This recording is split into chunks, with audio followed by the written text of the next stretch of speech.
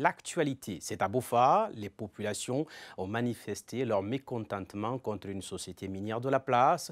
Pour cause, celle-ci aurait refusé de payer le prix fixé pour le dédommagement de leurs arbres fruitiers. Pendant plusieurs jours, les accès de cette multinationale étaient bloqués. Al-Gassim Baldé. Deux jours durant, les citoyens de Sogotoro ont barricadé toutes les issues de leur localité. Des blocs de pierre sur la chaussée, à cela s'ajoute un attroupement des différentes couches sociales. Les Chinois SD Mining sont venus aujourd'hui nous chercher ici. On a de grands problèmes. Cette année, personne n'a cultivé ici. L'année passée, on a cultivé, ils sont venus compter Arcadier euh, chose à 25 000 francs le prix. La deuxième fois encore, ils sont prêts à 18 000 francs. La troisième fois encore, ils sont dit maintenant à 2 000 francs. Ça, c'est un grand problème sur nous.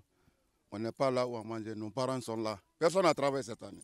Ici, des camions chargés de la matière première sont empêchés de passer.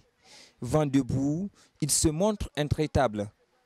Les responsables de la société mise en cause ont tenté la négociation mais ont vite rebroussé chemin face à la furie des manifestants. Tout est parti en mine. On n'a aucun intérêt. Tout est parti en mine. Là où nos parents, grands-parents travaillent. C'est ce village ici, là, c'est le village de Balakouranko qui s'appelle eh, Baladumboya. Son village natal qui est ici. Là, là où le, le, comment on appelle, le mine là, est planté, il s'appelle Sogotoro. Nos parents ici, là, on a des problèmes. Ils ont envoyé euh, leur borne jusqu'à dans notre village. On ne comprend rien maintenant. On est, foutu, on est foutu presque. Les plans d'Anacardier ont perdu leur valeur à Sogotoro. Cette population paysanne ne compte que sur cette compensation pour reprendre une nouvelle vie. Dans cette partie, c'est plus de 400 hectares qui leur ont été retirés. Malgré la médiation village Serhuna Souma, la manifestation n'a pas faibli.